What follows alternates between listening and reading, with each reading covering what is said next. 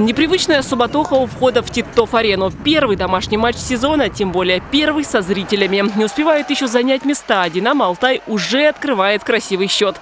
В первые три минуты игры трижды расстреливают ворота соперников курганского юниора.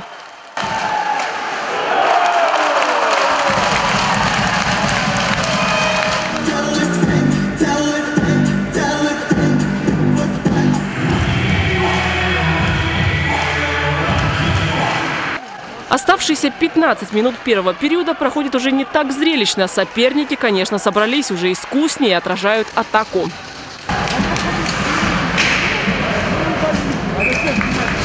Спокойствие и безмятежность плавно перетекают во второй период. Ни одного гола. Зрителям без накала страстей на ледовой арене откровенно скучно. Кто-то ушел в телефон, кто-то беседует, а у кого-то своя игра.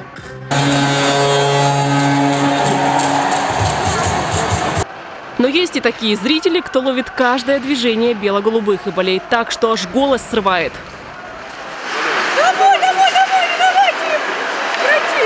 Красавчики! Я думал, начало матча было хорошее, наши молодцы, но а, сейчас уже в оборону ушли, но а, Никита спасает, молодцы! Надо вперед идти! Хорошая игра! Динамо, надо вперед! Все-таки у вас сын хоккеистом будет. комментатор.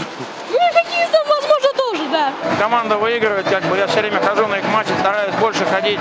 В этом году просто не было первый раз. Поэтому шикарная обстановка, шикарные эмоции. Поначалу, конечно, дали нормально прям разгону. Второй период так покатались, но ничего. Сейчас третий период зажгем. Хорошо пошли. Получается, у соперников просто поддержки нет или слабая команда? Да, нормальная команда, просто, может, маленько подразолновались. Сейчас нагонит, я думаю. Одну шайбу-то должны забить. Болельщик Виталий как в воду глядел. Третий период оказался более живым. Сухой победы не вышло. Одну шайбу юниор все-таки забивает. Все же счет 5-1 в пользу бело-голубых. Сегодня в 7 вечера на льду Титов-арены стартует вторая игра, а всего в этой серии будет 4 домашних матча. Валентина Аскерова, Николай Шелко. День с толком.